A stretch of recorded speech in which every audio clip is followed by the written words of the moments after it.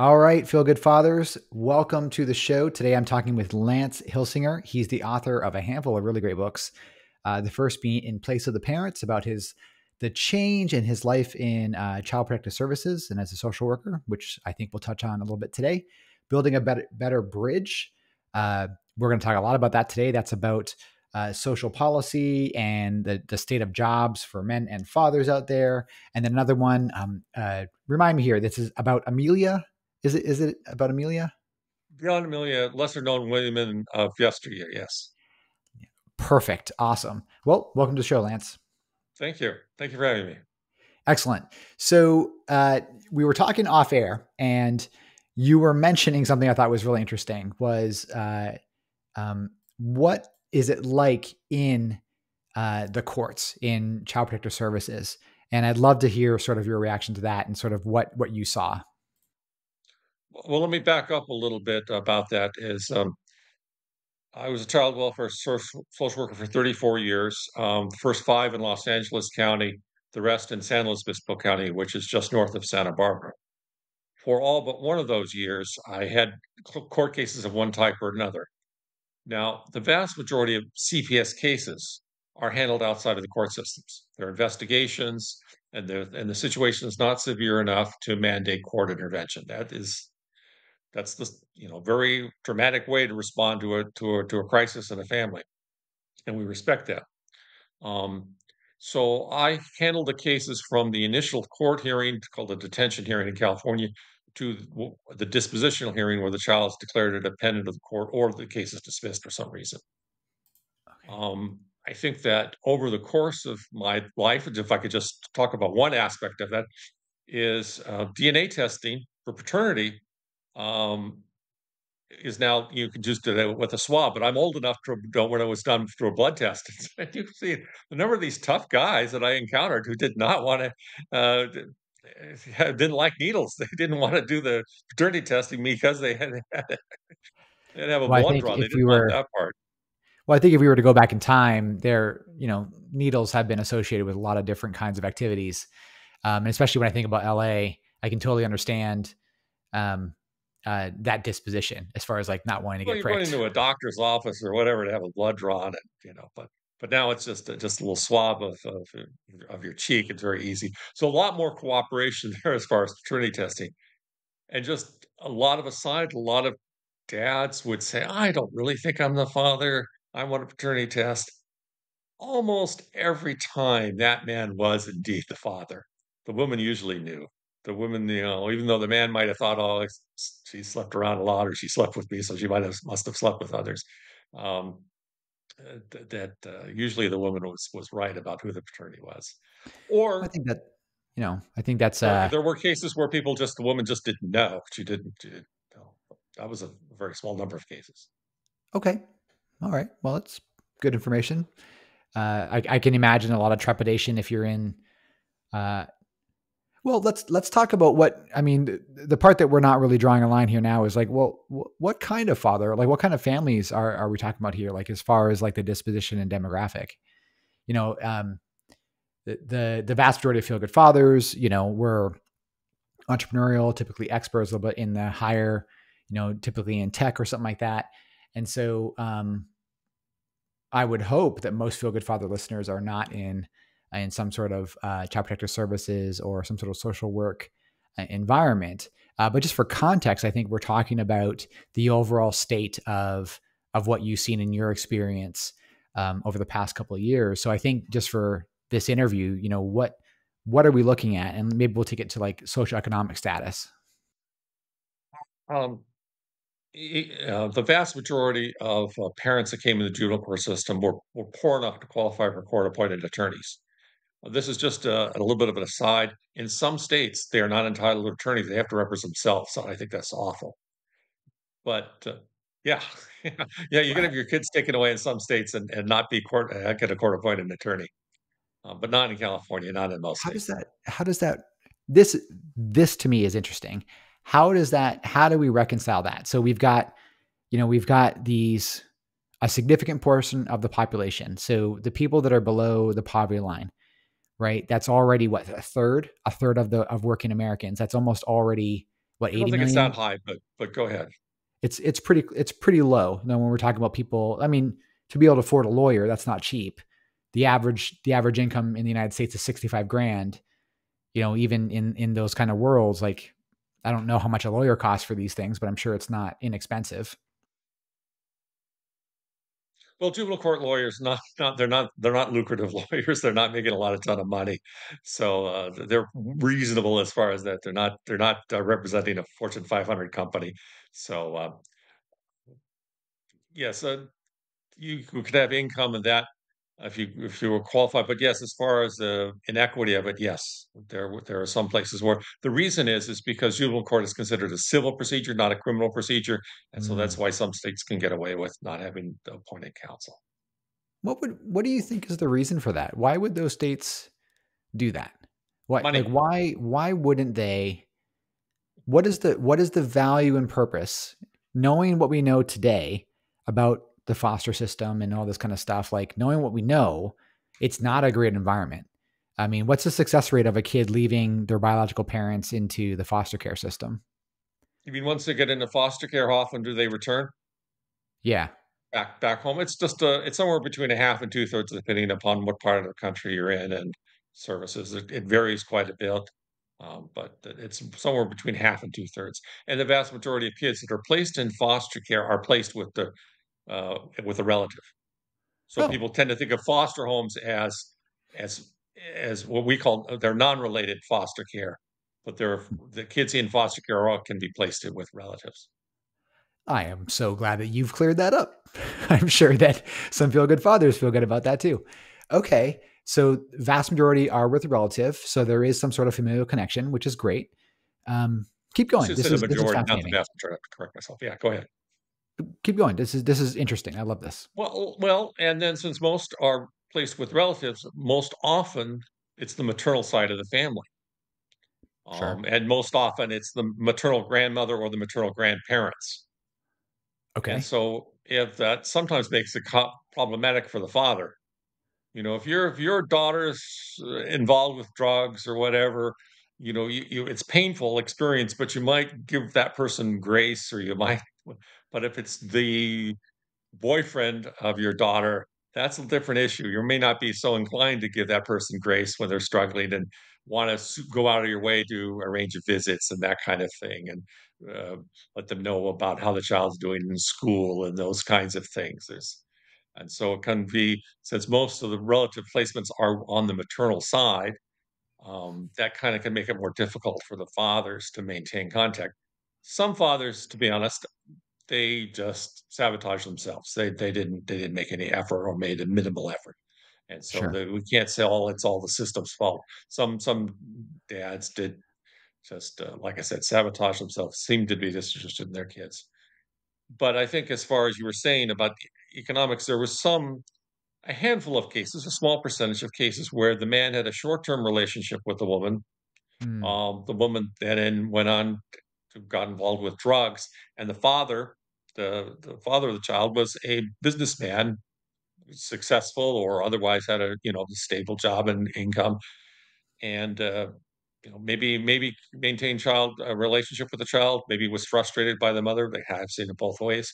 And if he came into court, um, he could and he hasn't done anything to the child, court has to take jurisdiction but can then issue new course custody orders and give him custody. Unpack that a little bit using using uh, street language, just so we can understand. Because I I was like, he comes in, he's a business guy, but there was a there was an understanding of a, a standard direction, and then what happens if he shows some sort of competency or something. I'm confused a little bit. Well well, you you have to have some event, you have to you have to remove the child from both parents unless the other parent's deceased. That's the only time you'll remove a child for uh, generally the only time. Um, but, uh, let's say you have that successful and I've had a few cases like this where the man very often they were successful entrepreneurial businessmen like you were talking about, Okay. and they had fathered child in a short-term relationship, Okay. and then how does he wind up with custody? You know, because he hasn't done anything to the child, why should we take his kid away? Uh, then they courts can sometimes the social worker can release the child directly to the father. If it's for some reason, um, that doesn't quite work out. Uh, there's some reason maybe, and very often it's distance. If the if the mother's in San Luis Obispo County and the father's in Sacramento, we're not just going to release them. You know, we need to some assessment before we send them off to a stranger. And what's the relationship with the child? What's his child care arrangements? You know, all the practicalities, where the child go to school and that kind of thing. So there's usually some of that that has to happen before the child uh, child can be released to the father, to what we call the non-offending father. Non-offending father. Okay. Okay. I think and, and you know this is if, I I think you know when we're talking about um when we're out there looking at family court, you know, there's a there's definitely a, this perception of uh, bias in the courts. And what I'm what I'm loving about what I'm hearing here is uh, number one as a believer in systems in general. Where you know my my wife jokes with me all the time about you're um, you're the guy who's like, yeah, the system, the the you know everything can be improved, but you know, I, I love the, I, am a Canadian. So I've, I've become, well, I was born a Canadian. I've become a naturalized citizen. So I'm now a US citizen. And I love the, I love the balance of powers, you know, judicial, legislative, executive branch and stuff like that. Um, but it sounds here in this court, really it is about the evaluation is what's best for the kid. That, that really seems to be the razor that is being uh, developed here. Right. Okay. Awesome. Um, what else can we what else can we say here? So there there was um, let's suppose right. Let's we're going to speak to our entrepreneurial business father.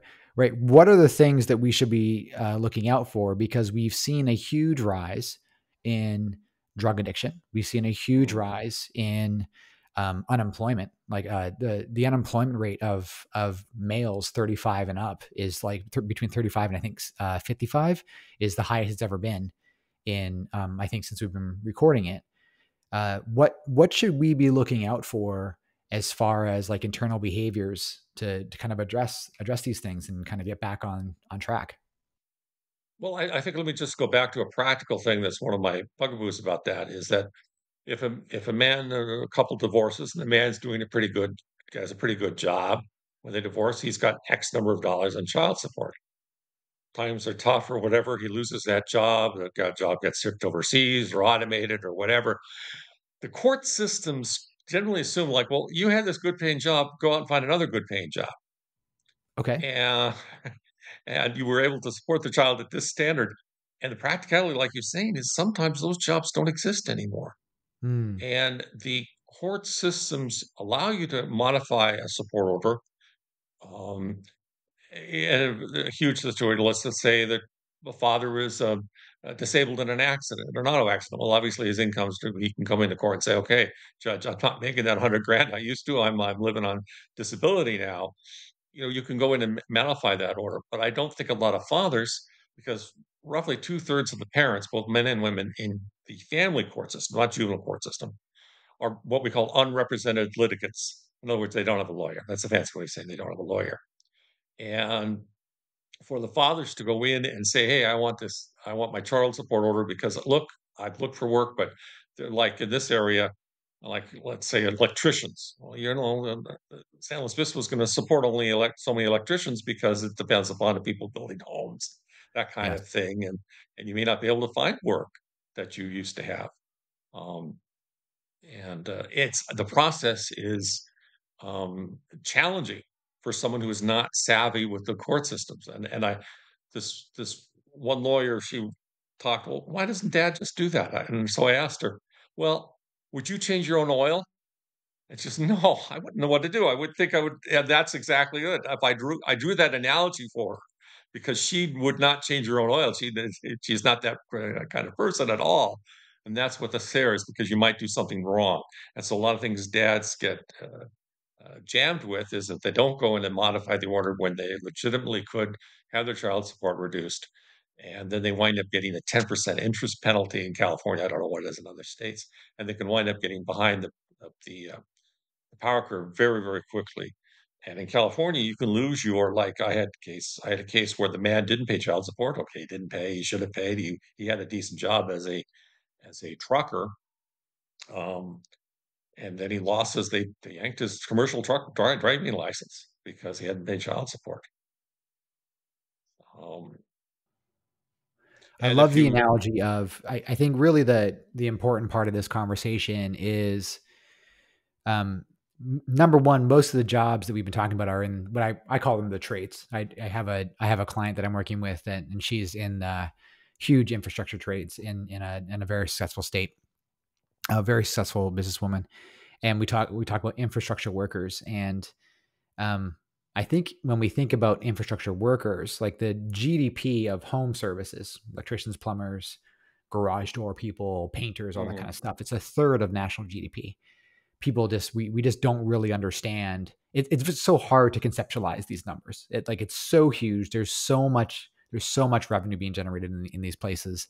It's very difficult, I think, for people to understand and wrap their heads around it. Just how many? So that and why are we bringing that up? Because it's very likely uh, a, a, decent number of people are employed in these trades, uh, especially when we're talking about fathers, right? Um, so that's really interesting and I and I completely agree. We just don't know what we don't know. Uh, life is so complicated and it's so difficult to just find good good not only just information but good actionable information about how to navigate some of these situations. I mean, for for Pete's sake, people can't even cancel their Amazon accounts. You know, it's right, like right, right. yes, uh, yes. So this about is the trades. I, I, have just if I could share one personal thing. I had some construction work. I had the the framing around my my circuit breaker box the circuit breaker is fine. The electrical works, but all the framing, it being on the house is, is 40 years old, and I needed some stucco work, some painting. The guy charged $75 an hour. Like, that's pretty good. Wow, I'm in the wrong kind of job. I was a social worker, and I don't think I made more than 35 an hour yep, working yep. for the county. Um, yeah, okay, you got benefits and everything, but still, that's that's pretty good money. And so I think we do, do need to value that those trade skills um, mm that we don't see as much. And I happen to have served on the um, uh, school attendance review board, basically the truancy board. What do we do if mm. kids are truant? And roughly two thirds, three quarters of the kids were truant were boys.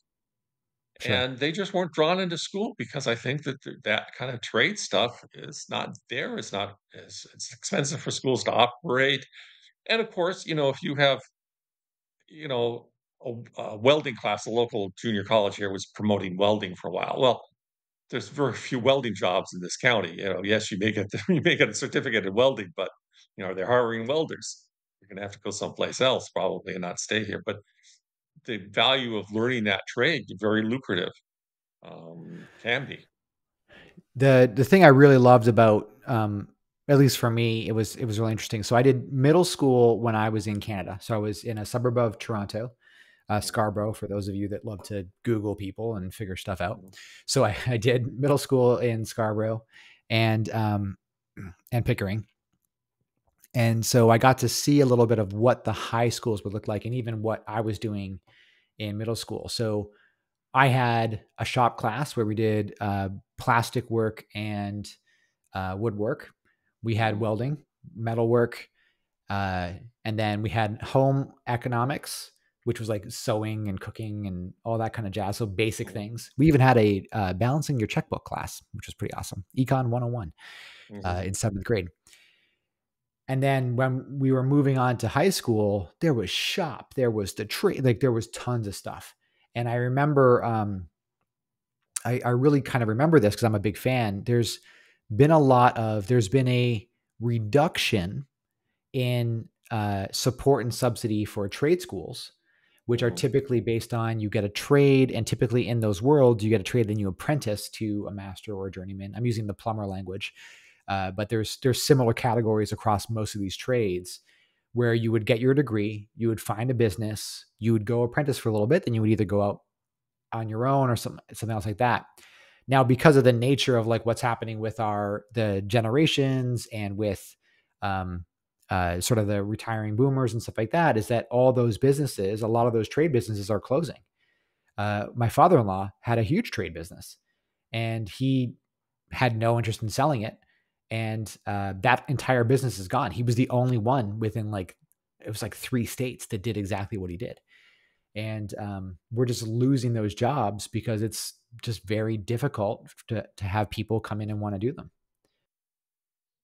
Part of it is employers will say that people don't have the same work ethic that they used to, and there's probably some truth to there's certainly some truth to that. Um, and but is are are we valuing that as society as much?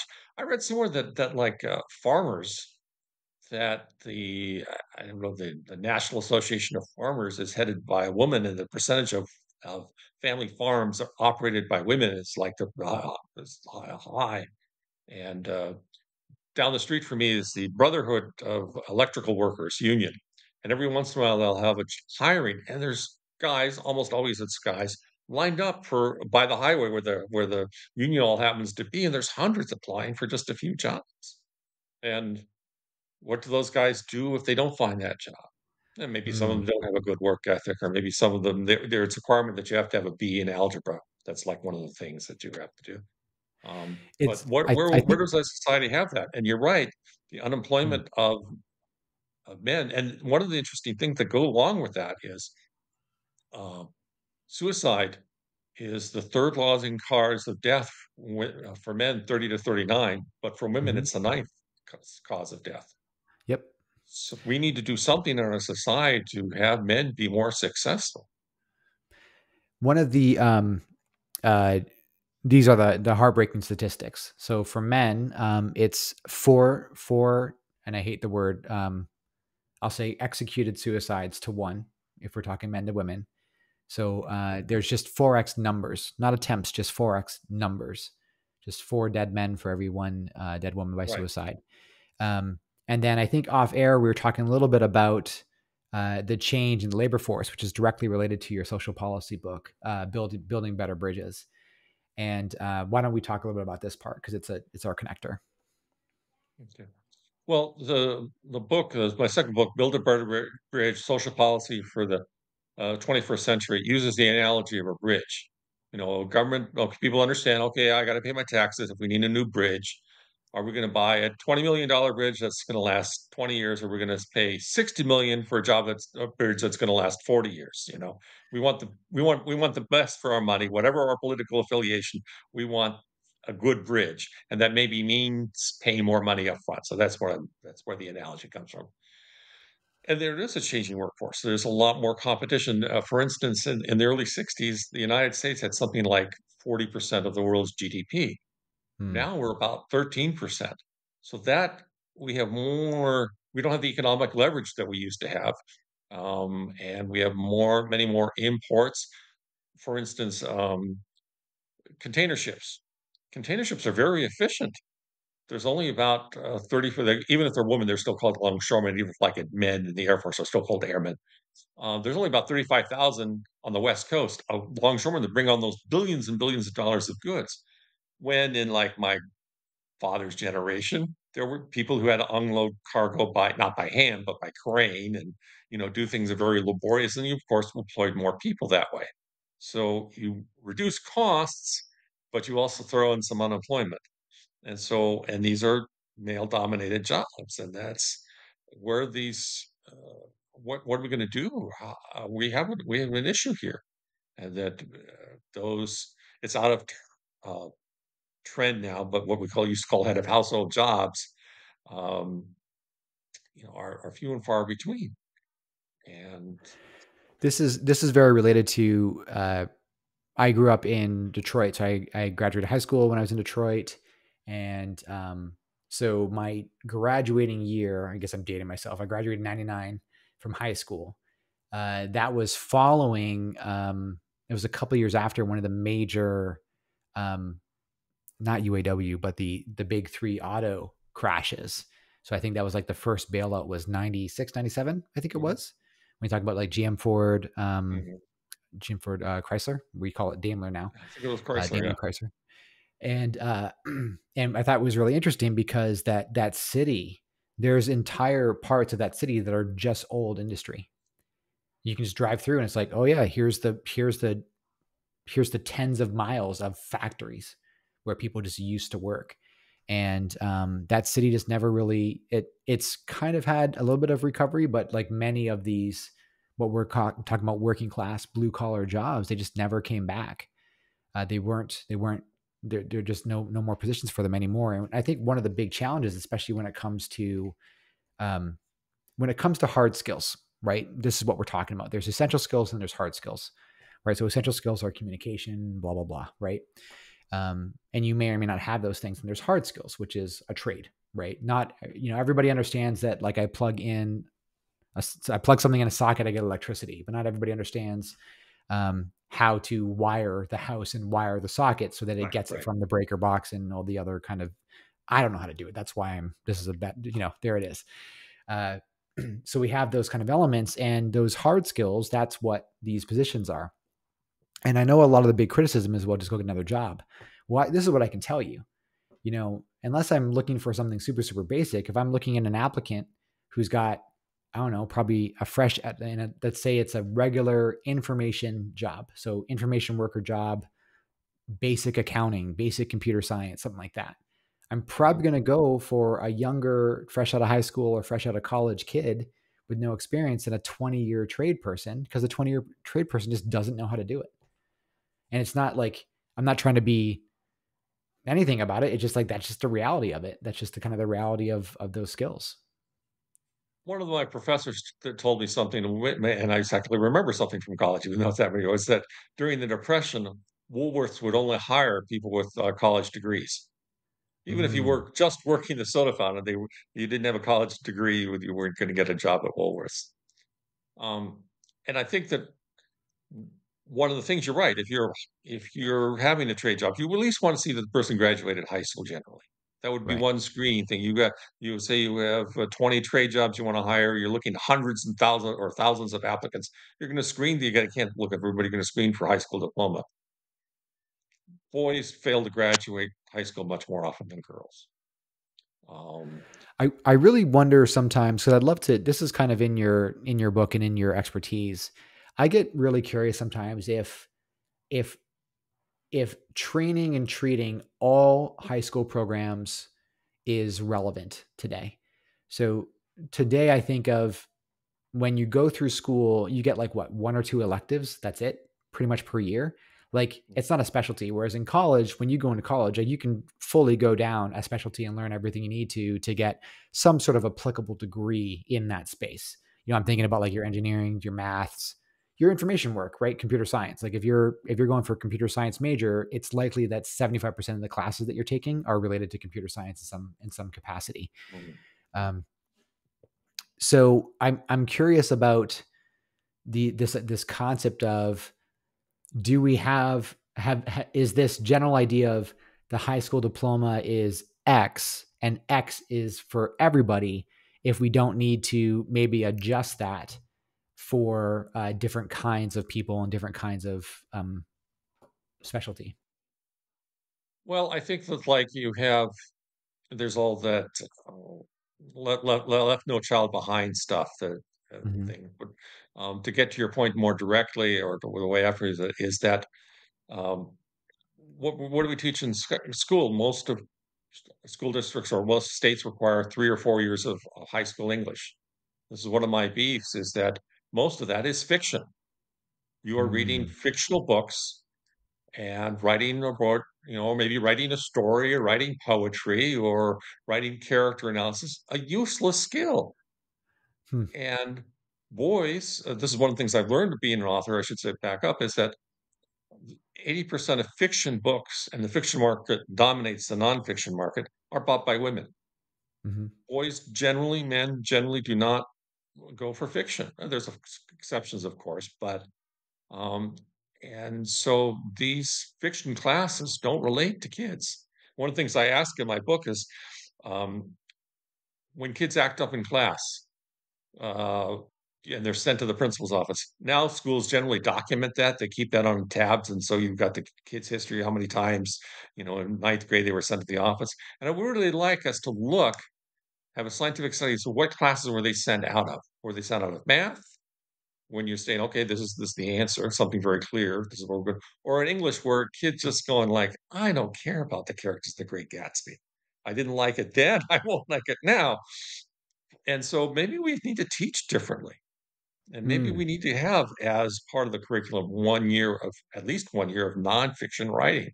So you're training kids to be a police officer or a firefighter or a salesperson who needs to write a sales report or a sales presentation. Or nonfiction writing is what we need to focus on. I don't think the idea of changing the requirements so much because employers need to know high school diploma means X. They need to know that you that you've accomplished something. So having sort of five different types of high school diplomas, no, I wouldn't support that. I do Hmm. think it's um, you know uh, uh, what kids accomplish in school and high school diploma from Beverly Hills High can lead them more than say a lot of kids from other school districts. And uh, I won't name a bad school district, but you know th- that that's going to mean diff- something different. even though Okay. legally Awesome. legally it's probably the same, but you know, you you realize, oh, that kid got uh, their their high school diploma from uh, Beverly Hills High. Okay. Well, what else? What else can we? Um, what are some other potential solutions for? You know, we we were basically talking about reintegration and reeducation in the workforce. Of Well, I think um, one of the you know, things is to it, um, is to have school districts. Um, they most school districts have websites and they tell you all about the schools and this is the school calendar. This is what you can eat in, in the cafeteria this week. But one of the things I would require to ask the federal government, since most school districts get federal money in one form or another, to post graduation rates broken down by gender. You hmm, have to identify the issue first before you get some awareness of it. So I'd say, okay, how what percentage of our boys graduate, what percent of our girls graduate? Or you could say which drop out, but you want to say it positive. Let's say, it, you know, let's go because I think that that when you identify, hey, this really is a problem. And one of my big bugaboos about this is a girl who fails to graduate high school, she's more likely to get pregnant um, and require social services of some sort. That's taxpayers' dollars. That's she's an hmm, economic drag on on the system. The boy who fails to graduate will may father a child that he's unable to support, but he's also more likely to get involved with the criminal justice system. His failure to graduate becomes a matter of public safety. So, hmm. one, you have a person who's an economic liability in cold economic terms, another person, you have a question of public safety. And so I think that we really need to do things to increase graduation rates for boys, and that will lead them. But again, you have to. So one of the points I make in the in, the, in my book is there has to be a job. If you're on welfare, uh, and typically it's the mom has kids. Very few. I've rarely. I've only had maybe a handful of cases where the dad was on welfare with kids. It was the Sure. mom on welfare with kids, and you have to. You either have to be uh, working or in school to get, get assistance. Well, If you go to school only for a year, which is the, you can only get a 12 month exemption generally, you're not going to acquire any work skills that are going to lead you to an independent job where you're economically self sufficient. We've got to change that education requirement and make it two years. So you graduate from a junior college and you have some sort of workable skill that's going to let you be an ind- economically independent citizen and you're, you're paying taxes instead of taking tax dollars. So that's that is um uh that's like your trade schools. That's your like associate's degrees. Is those two year degrees? yeah, a two-year degree from a community college. Allow the person to be on welfare long enough to get a degree that will get them out of poverty. Yeah. Yeah. So what is the do you do you have the hard you have the hard data on this at all? Like how much like these you said economic drag, like usually we can calculate this amount, like, hey, it's gonna cost this much I over the don't have lifetime of I don't have that because you could calculate probably four or five different ways and come up with different figures. But you're just common sense. You're going to say that the child who's in poverty is how many years is, is that child and is that you know. Right. And when we talk about poverty, is is that um, of something like 9% of seniors are poor enough to qualify for food stamps. We tend to think of poverty as uh, those poor families on welfare, but 9% of seniors are poor enough to qualify for food stamps. Hmm. And Well, what do we do? Okay, so now we're talking about as a father, we've got a grandparent, right, who's poor. So what so what can we what's a solution here? What's a discussion here? well, you know, and then that's a good point because if you're if you're born into poverty, you may or may not break out of poverty. But if you are a senior in poverty, you will probably die of poverty. Um, That's yes. that's that's unfortunate. Um, one of the things that to but to answer your question directly was that I think that uh, is that we should require employers to have uh, some sort of pension plan. There's a thing where in California, if you don't have a lot of a lot of major corporations, they'll have a three percent match or something for your if you're you know um, your 401k, yeah, your 401k, they'll have a three percent match. There's a system in California that if you have more than five people, there's a three percent. The employer's not required to match it, but there's like a three percent off the top to go into a retirement fund. So that if you're poor, you're making uh, minimum wage or just a little bit more. Yes, some money is set aside into uh, the equivalent of a 401k, and then you'll have a little bit extra money at, when you retire. It won't be a lot, but you'll at least have something that will cushion you through the expenses that way.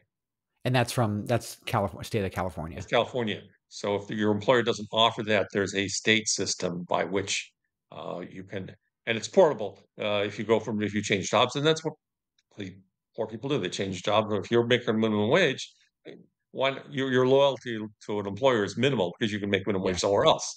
Right? Yeah, exactly. So this is a job that can follow, and and uh, interesting. But that, that's only for companies that do not offer uh, an IRA plan. There's a state option there. There's, I didn't know about until I was doing research for my book.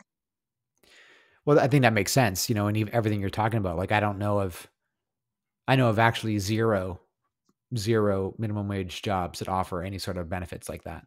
The vast majority of people nowadays are 1099, which means um, independent contractors. So no benefits. They don't even have their taxes taken out. They're they're typically just working and um, they get the full amount of that revenue um, into into their paycheck. And if people are maybe some people go, oh, I don't want a government uh, bureaucracy or whatever, you know, that's going to be expensive, blah blah blah it runs it's the cost of the government is minimal, something like less than five hundred thousand dollars to to administer this program, which is uh, well, size think... for California that's that's peanuts. So so this is a very cheap program that can that can help and give some people some. And if you're in poor, if you have an increase of a hundred bucks or two hundred bucks a month, that means a lot of money. If you're already making you know eighty thousand a year, an extra hundred dollars is nice, but it's not make or yeah, break. Make but you have a real difference yeah. in standard of living uh, between that. And this this is just if I could just go on about how important like child support is. If if a if a woman has two kids, let's say she has kids by a guy who's got a good regular steady job and another by somebody who's like struggled to maintain a job or isn't doesn't a regular job and she's on welfare. So for the for the she gets regular child support for the for the father from the father that's got the good steady job. For the other father, any child support that's collected from him doesn't go to the kids. It goes back to the government to offset the cost of the welfare. People say, well, that's only fair. The government's giving her money. We're going to take some from the dad and, you know, kind of offset that. What that does is it doesn't give him any incentive to be part of the mainstream economy. It doesn't give him any credit as a father. And it right and it suppresses that child's living standard. So if he was going to, if he wakes, has a good month or good whatever, and he's uh, employed for three months, say in a harvest season forever or whatever, and that's all his work, and okay, then that money should go to the child, and that extra two hundred bucks or whatever will make a huge difference in in that child's life and the mother's life and that thing. And so that is one of the things where I think that we should change the system. Uh, you talked about systems change, that's where I think that we're the government's penny wise and pound foolish there. Because I, I think, tried I think, to find, I tried to find where in like pie charts and state budgets and federal budgets, it shows how much money was collected. And it's such a small amount, it's like less than fishing licenses kind of thing. You right, just can't find right. the money. So it's not like the government's going to go broke if they don't collect this money. That's interesting. I think of um, uh, recently during COVID, they had the um, the subsidy checks. I don't know, I don't even know what they were called, but everybody got a check, or maybe everybody's going to check. And I remember reading stories about people that were like, "This is the first time in forever that I've been able to pay my bills and be able to put food on the table, and this kind of stuff." Like I'm, uh, whatever. Again, whatever your politic is, I I think that universal basic income you know like if everybody gets something to i don't even know how it would work or what the economics or mathematics of that kind of stuff is um i mean it makes a difference for people mm-hmm. you know especially when you're at the lower they, end they've done some experiments with that Um, and the vast majority of people were responsible with their money. They paid their bills, they paid their water bill, they paid their utilities, you know. Um, but there's that small portion of people who did squandered it, and you could just see how that would be. Just uh, people would would eat that up and say, and say, oh, look, they the you know look what look what uh, look how the money's going for this thing. Um, I, I think it's a tragedy sad, to sad, you know. I think it's a tragedy to evaluate the efficacy of a system based on its extreme ends. Right. So you're gonna have people you're gonna have people that are gonna I don't know, take it saves a universal basic income right from uh um that was like a thousand bucks a month you know some people are going to at one end make just make investments make more money for themselves and then the other end they're going to buy drugs. Okay. Right. and then for the 95% of people they get it they're going to pay their bills and put food on the table.